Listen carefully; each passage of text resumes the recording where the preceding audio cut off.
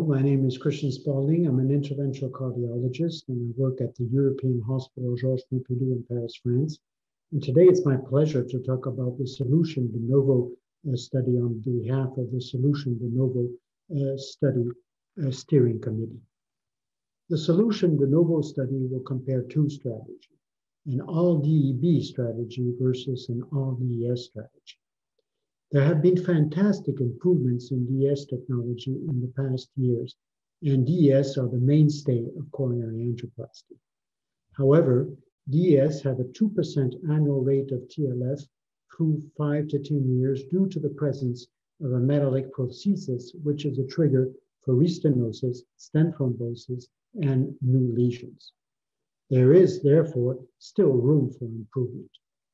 Drug-coated balloons have shown their effectiveness in in-stent restenosis and in small vessels, but not in an all-comer study. If a DES strategy uh, is uh, uh, non-inferior or even superior to a DES strategy uh, in an all-comer study, well, this could be a major breakthrough uh, in PCI. Why was this study organized as a, a strategy study rather than a direct comparison uh, of two devices? Well, what, when you perform PCI with a DEB, there is a possibility that you may need to implant a stent either after vessel preparation or after the use of a DEB because of extensive dissection, for example. And this, according to published trials, occurs in approximately 5 to 20% of cases. And when you perform PCI with DES, in some cases, the DES cannot be implanted and a DEB can be used as an alternative strategy. It therefore seemed more appropriate to compare uh, two strategies, a drug-eluting balloon strategy and a drug-eluting uh, stent strategy. Uh, and obviously, uh, the results will be analyzed according to an intention to treat analysis. The Selution drug-eluting balloon elutes sirolimus, which is a more effective and probably safer drug than paclitaxel. Sirolimus is more difficult to deliver from a drug-eluting balloon.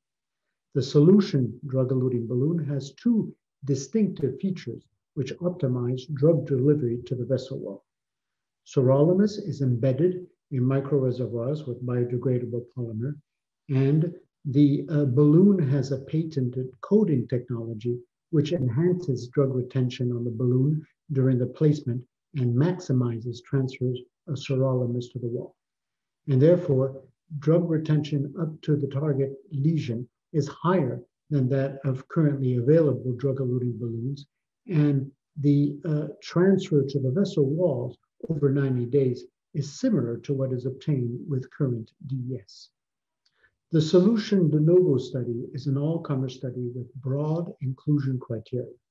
It will compare a all DEB strategy to an all DES strategy, and over 3,300 patients will be included in 50 sites.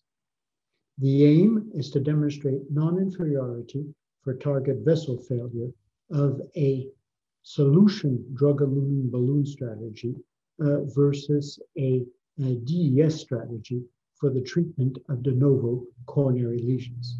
The primary endpoints will be target vessel failure at one year, and we will test for non-inferiority, and target vessel failure at five years, where we will test for non-inferiority, but also superiority.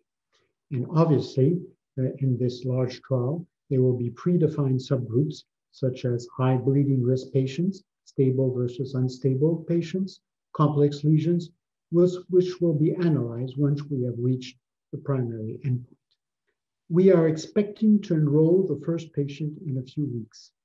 Enrollment is expected to take two years with 50 sites, and with a one-year follow-up, we expect to report the first results uh, by the end of 2024.